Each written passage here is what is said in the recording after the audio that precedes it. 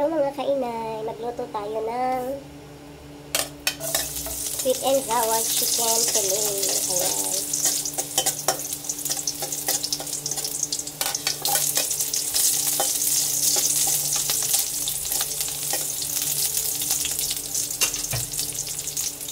Ayan, lagyan natin ng carrot.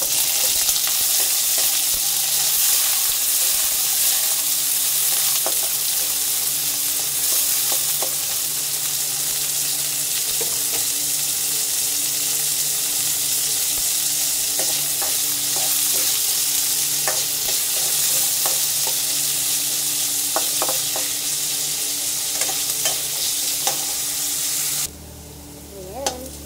Lagyan natin ang pineapple seedless para magkasabaw na ng konti.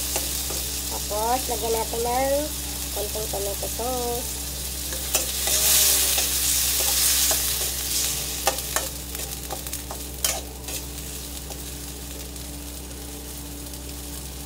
Ayan. Ilan. Para may konting anghang, lagyan ko siya ng sweet chili sauce. Ayan. Oh, diba? Para lumambot yung carrots, nilagyan ko pa ng tubig. Uh, tabangan natin. Lambutin natin yung carrots. Lagyan na rin natin siya ng pampalasa. Konting patis. Paminta. Sarap maraming paminta. Garlic powder.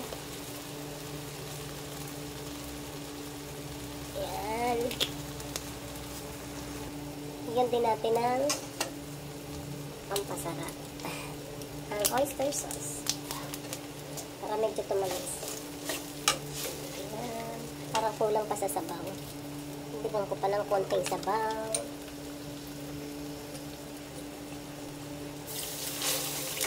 Yan.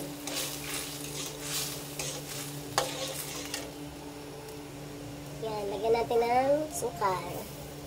Dahil sweet and sour nga ito, kailangan nyo ng konting asukal.